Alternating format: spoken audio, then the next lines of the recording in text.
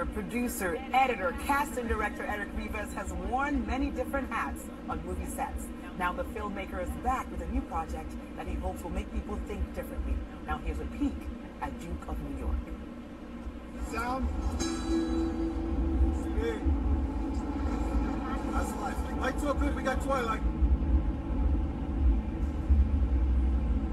Right on the set. And action.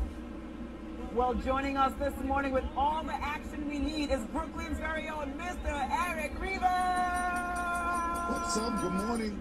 Good, morning, Bill. Eric. How are you? So I, I'm going to be singing your praises about this movie, but should I just sing a different kind of song? Because we're celebrating something else this week, aren't we?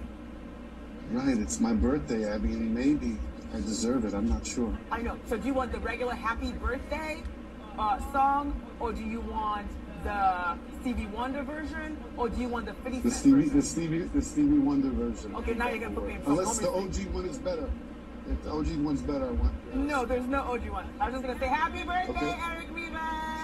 Thank you. I appreciate that. Yeah, I, do. and- I really do. Thank you. We appreciate that you appreciate it, but next time you're going to going away, because we know you're away for your birthday. You're I'll on a, on, invite a, you. on a lovely like island right now, so invite us to go. With Right. yes, I should have. Okay. But, but, Did but most know of my we're gonna, talking with Marshall.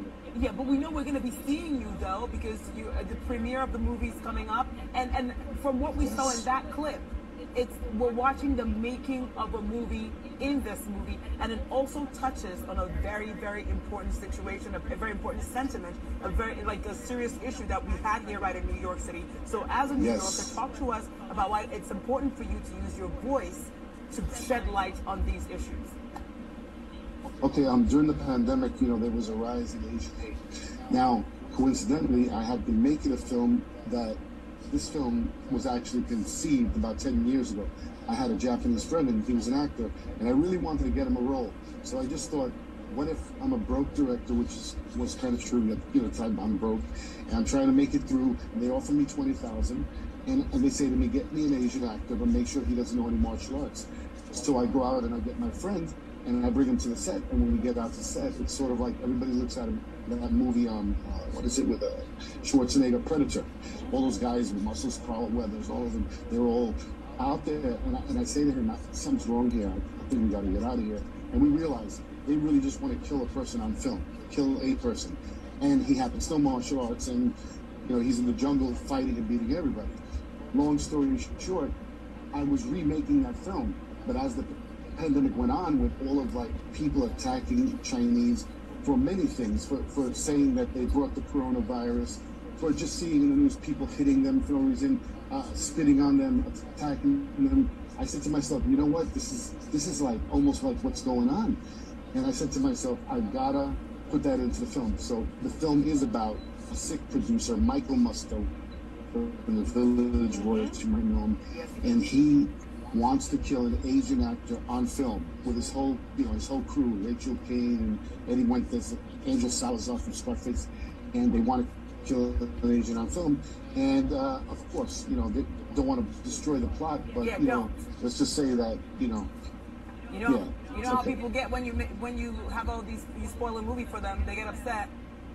We don't want anyone getting upset. Exactly, you right, exactly. Movie. want to do that. All right, so Duke of New York. exactly. It's probably like it, it filmed in New York. You're you're from New York, so what? And, and it's kind of like a, we see like different parts of the city Yes. So This- so this- this where was- did you shoot?